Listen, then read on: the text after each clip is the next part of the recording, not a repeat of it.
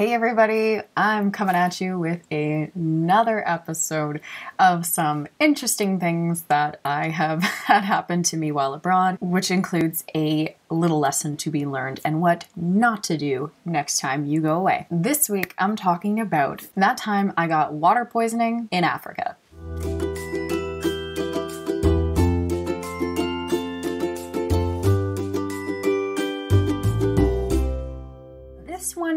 Actually one of my oldest stories. The reason why I'm bringing it up is because it has to do with being aware of what you're consuming. Super important. I know this has a lot to do with a lot of things you can get while abroad, but here goes. So, what happened to me while I was there? Well, I was volunteering in a reserve there. Myself and a bunch of other volunteers decided to go to Kruger National Park. So we stayed at a hostel just sort of outside the park, uh, one of the park gates. The park is massive, so I mean, there's tons of entrances. But, anyways, so we're staying at this hostel, and while we were on the reserve, we were kind of just drinking the water that was available through our like taps because it was fine to drink there. Now, what I just forgot about because we had already been there for so long was that you can't just go drinking any water anywhere. When you are from another place, the bacteria and everything that's in your gut is not equivalent to the type of bacteria that you might find in other places, which is why we are a little bit more susceptible to getting ill depending on where you are and what's in the water. Basically, drank the water there for a few days, as did some other volunteers, but I happened to be the one who got sick first. So, what happened to me, I just was so nauseous and was vomiting a lot. The funny part about this story was I think in one day I vomited probably like it had to be close to 10 times, or at least it felt like 10 times. I don't know, maybe uh, one of my friends who might be watching this can let me know and remind me how many times it was that I puked uh, on the drive. But any which way.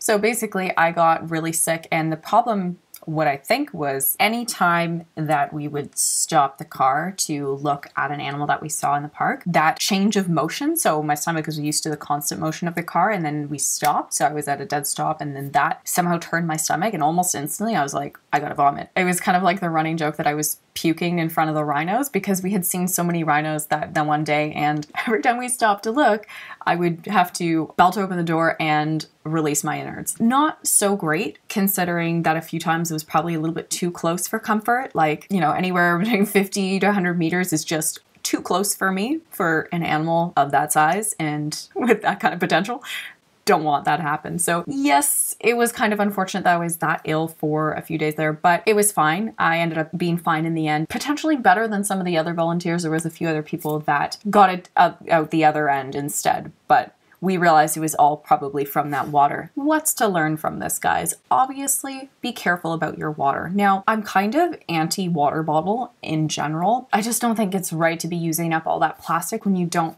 really need to. But that being said, if you're somewhere new and it's, you know, in that moment and you're not sure about the water, if you can't ask anyone or get someone to give you some more information, then opting for a bottle of water is a better idea. What can you do if you don't want to buy the bottle of water? There are certain things you can get. And actually, I have a good thing I'm going to show you. I had these. Oh my god, they're not even expired, guys. a lot of the stuff in this in this bag uh, that I have here is expired, but these water tablets that I have expire in 2022. So these I've actually used while I was in Nepal. And I had them for while I was trekking because we were going through a lot of really, really small villages. They had taps where you could refill your water, but a lot of them were kind of sketch. So most of the time you'd want to use one of these. This is also a good option if you're somewhere where you're unsure.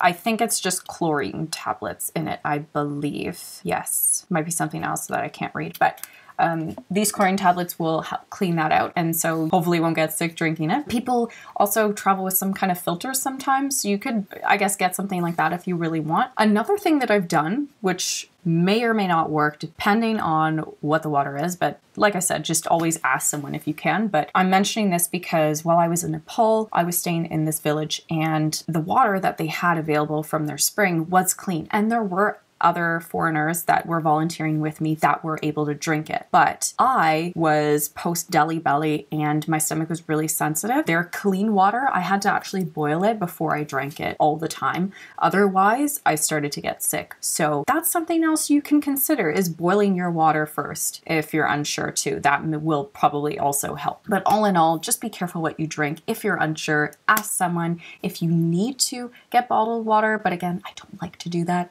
I know people like are very bottled water when they go away, but I'm not you can take that as you wish, but watch your symptoms always. So if you do get sick from something like that, just watch your symptoms in case something becomes more severe. Again, get help if you need it and always eat and drink appropriately. When I was talking about the diarrhea from the lentil soup a few episodes ago, I did say, you know, starchy foods are good if you're having lots of diarrhea. Um, the rehydration salts are also important if you're vomiting a lot. So again, that's something you can also get to make sure that you're replenishing your body if you're ill. All that said, I hope you found my story funny. Um, puking in front of rhinos was not exactly how I wanted to spend those few days in Kruger Park, but damn, it was still an awesome trip regardless. I thought it would be, be interesting to share that story and give you a little bit more practical advice on what to do and not to do. If you like the story, please subscribe. There is one more story sort of similar like this about some personal stuff that I went through that I'll be sharing, and then I'm going to move on to some other stuff. But Please subscribe if you like this story. There's more. Thank you so much for watching. I hope you have an awesome week. See you next time.